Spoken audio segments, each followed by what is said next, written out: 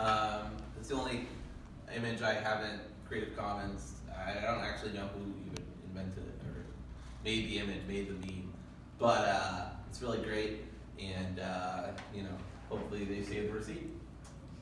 Um, so, I'm to be talking today about math rock. Math rock is a specific kind of genre uh, within music.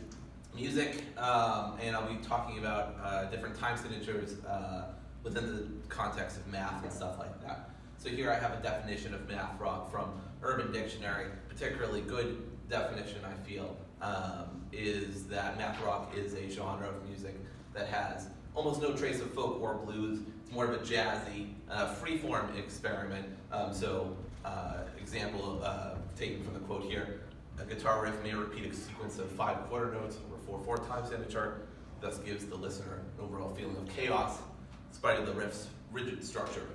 Um, so math rock is kind of a really weird genre, has a lot of roots in a lot of different areas, uh, so it makes it really hard to define um, because it takes from like post-punk bands like Black Flag and the Minutemen, but also has uh, elements from progressive rock from bands like uh, King Crimson and Rush, and then also some elements of math rock also take from uh, indie rock and emo rock bands um, like uh, Cap'n Jazz. Um, American football is also a notable one. Um, so this is kind of a really simple definition. Um, there's um, some modern rock bands. Um, I hope that's legible. Um, so modern rock, math rock bands can include TTNG, just right on my shirt. I saw them recently and they're great. They had their like 10th anniversary tour for uh, their, their Animals album. Um, and we have other bands like Covet. Um, the woman in the, the background is the lead guitarist of Covet. Uh, Chon, Toe, Giraffes Giraffes, and a lot more. Um, these are all kind of accessible poppy flavors of math rock, um, often called uh, pop math rock or math pop rock. I don't know. Uh, none of us nerds really have figured out how to label everything yet. Um, but anyway, um, some older bands like Hella and Don Caballero, um, which I will show later, are a little less accessible and uh, sound very extremely complicated. Um, so keep that in mind. So time signatures. Time signatures um, are certainly something you probably you probably are aware of. Um, it's so common. I, I didn't even have to. Uh, this this picture in the background is not even licensed because it depicts a concept too simple, uh, which is pretty awesome. Um, find, I'm sure corporations will find a way eventually, though. Um, so the radio, most music is in 4/4 time. Um, so it's presented like kind of like a fraction, not exactly, obviously.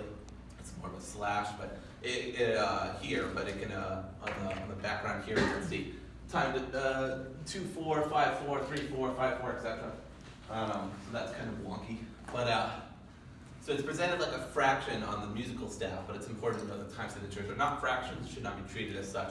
But it, you know, it's uh, sort of seeing how math can intersect with music in a very basic way. Um, so I will, let's see, I'll give you a rundown of some regular time signatures and then also some unusual time signatures, but just in, in popular music. So we're gonna, gonna do a few here. And again, hopefully it's not too loud. Is that gonna work? Oh, that's right, I gotta use my own mouse. Okay, so here we're gonna have a few examples. I'm gonna do 4, 4 time, 3, 4, 6, 8, 7, 8. And uh, did I, was I supposed to already go over that? Mm-hmm. So 4, 4 time is like 1, 2, 3, 4. And 3, 4 would be like one, two, three, and 4. And the, the 4 would be silent uh, in terms of keeping track. And uh, we'll, we'll, get more into that later, but uh, just want to make sure I didn't miss anything, I did not. So we'll go into this. And we're just going to listen to very briefly, just 10 seconds of each. Um, I tried to insert them into the slide themselves, but that was a nightmare. Okay, so this is the song. It didn't actually go to the video, but that's okay. You just need to hear the, the sound. So this is a song by Rage Against the Machine called Killing the Name of. Uh, one of my favorite bands, so I just figured I'd use them. So the intro is in 4-4, most of the songs in 4-4. One, two, three.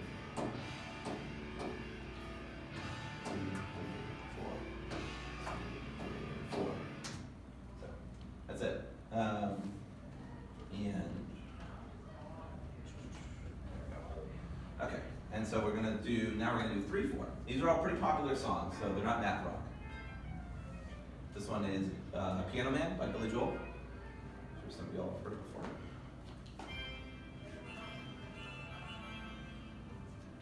One, two, three, one, two, three, one, two, three, one, two, three, one, two, three, one, two, three, one, two, three, one, two, three, one, two, three, one, two, three. Okay.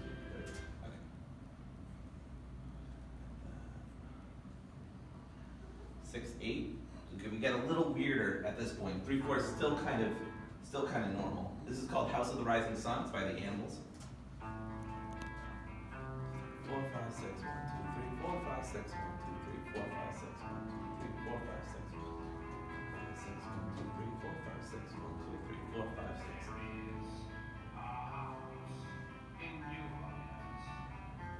He says New Orleans really weirdly.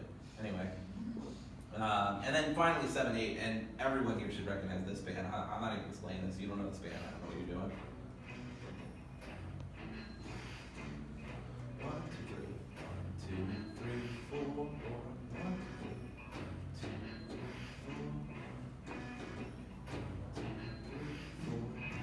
So right there, you can split the seven, eight, and that's that's "Money" by Pink Floyd, in case anyone didn't know. Um, and you can split the seven, eight there into uh, a measure of three and a measure of four. So here we have uh, basic math concepts like uh, counting, numbers, fractions, etc. Go to the next slide. So the, basic thing about math is that the top number tells us the number of beats per bar. So you know, four four time um, is the is the common time, the usual time. So six eight tells us that there are six beats per measure, and the eighth note is what gets counted. It's a little a little weird, confusing, but you know you get you get it eventually. Um, so like I said, incorporates counting, use of numbers, symbolic fractions, etc. Um, math rock tends to dial this up by 11 um, by having things in wild time signatures like 6 and 8 and 3, 4, but then switching rapidly between them, kind of like a punk rock song um, where you have a very fast-paced beat. Uh, and then sometimes even throwing in weird things, I just made these up on the spot, 11, 4 and 16, 9. Just for fun, not to, drive themselves crazy.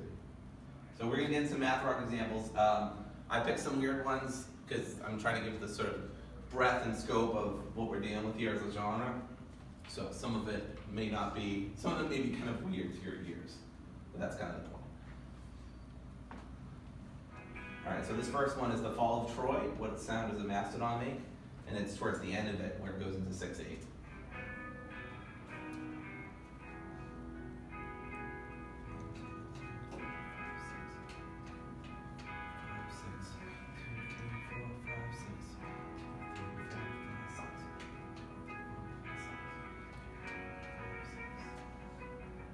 Of course, if you start the song at zero, it's the lead singer screaming his brains out. So you know your mileage may vary about where you start in a particular song.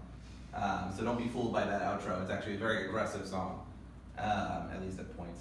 Um, this next one is two four and five four, so it kind of shifts. This is um, I've already mentioned this band, but this town needs guns, which is TTNG.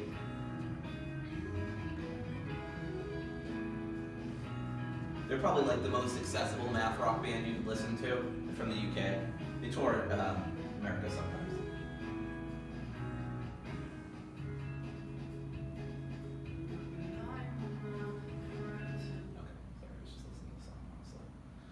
Um, and this one is 4-4 and 8-8. What is this one?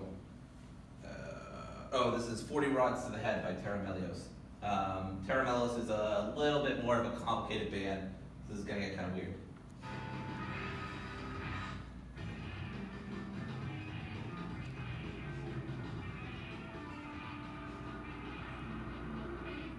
One, two, three, four. One, two, three, four. One, two, three, four.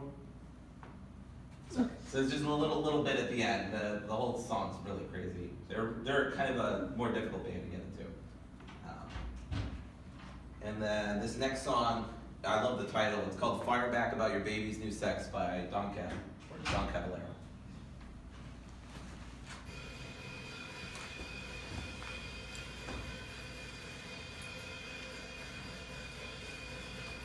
30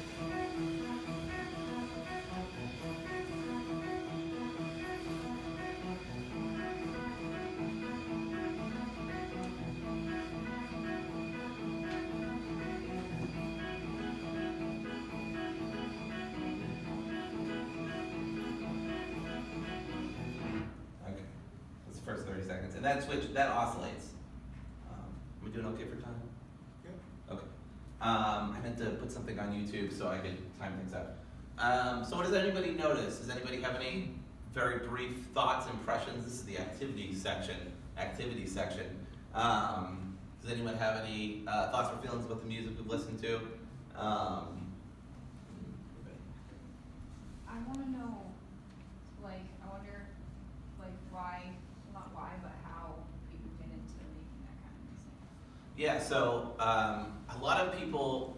So I mean, first off, it, it, like any weird subgenre, it's just a lot of like white guys like really want to show off how good they are at music, um, and that kind of like stems from like their progressive roots, uh, their prog rock roots. I mean, I don't mean politically progressive.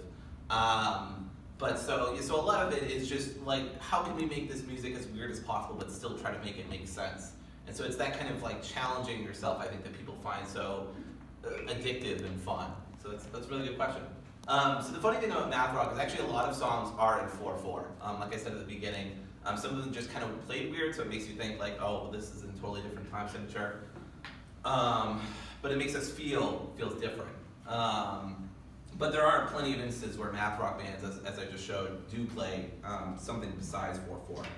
Um, so now we're going to get into some really weird examples, and I only showed two because I don't want to do too much here. Um, but so we're gonna, we're gonna kind of deviate from math for a split second, just to go into more about time signatures and math and counting and all that stuff. So we're gonna look at this uh, progressive metal band called Dream Theater, uh, and they're pretty cool. Um, I don't listen to them anymore, but they're pretty cool.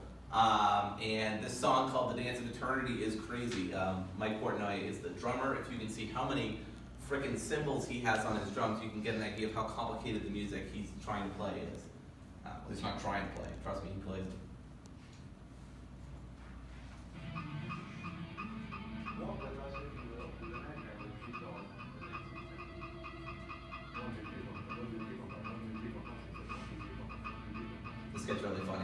He, even he can't keep up with how crazy this song is.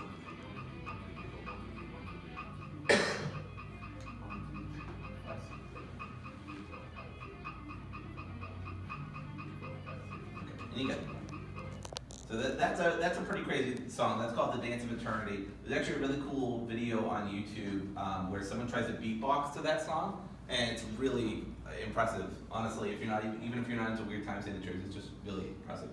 Um, this next one is by Hella, um, which is a California band. Um, their song "Biblical Violence," one of my favorites by them. Um, I don't uh, I don't even know what time signature this is. I couldn't tell you.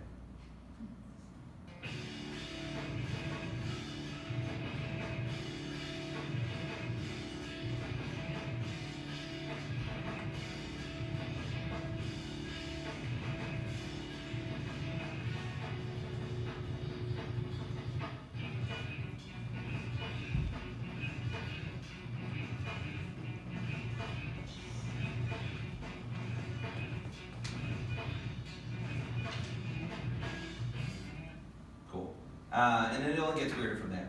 Um, Hella is one of those bands that just like pushes um, pushes music as far as they can take it. Um, so I, I really love them. Um, the drummer right there is Zach Hill from the band uh, Death Grips, which some of us may know. Um, but anyway, uh, it's a really cool song. Um, so anyway, what can you take away from all this? Uh, well, mostly just an excuse for me to, to show off a genre that I really like that no one knows about. Um, but as a, as, a, as a great giant nerd once said, wherever your interests lie, I assure you that there is mathematics to be explored there. After all, mathematics truly is the language of the universe. I don't know who said that, somebody. Um, but, uh, you know, he's right, math is found in most, if not all, the things we do, including, uh, of course, math rock. The genre was called that because uh, critics said that they needed calculators to figure out um, how exactly to make sense of each given song in terms of the time signatures and stuff like that. Um, musicians uh, originally saw it as kind of an insult, but it's kind of been embraced over the years. Basically, like most things, nerd and dork and geek used to be seen as insults, but uh, you know, I, I just call Professor Plante a nerd, and uh, I'm pretty sure he knows that I, I, I meant it in an affectionate way. Um, if not, I'm sure he'll fail me. So, um, but anyway, um, so you know, we could go further than than all these examples and stuff like that show. Uh, the simple act of counting and math more general, uh, mathematical structuring of music. Um, you know, there are certain prog bands um, that make use of, of math more explicitly. Um, and so all this sort of adds up to sort of beautiful or I don't know, horrifying, depends on your view of math rock at this point.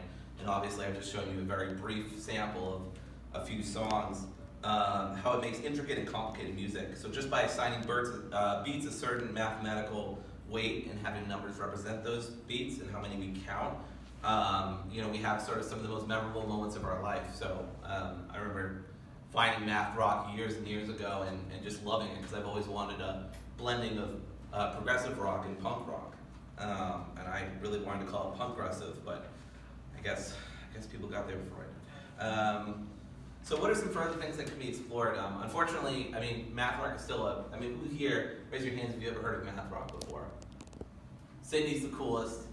Sydney's awesome. She, she knows a few. We, we talked about this last week. She knows a few bands. So almost nobody in this room has even heard of the genre, let alone you've probably heard a band from them uh, from the genre before. But anyway, so the possibilities are pretty big. Most people don't know about uh, math rock as a genre, and you know I'm not saying everybody should love it or whatever. It's a difficult genre to get into.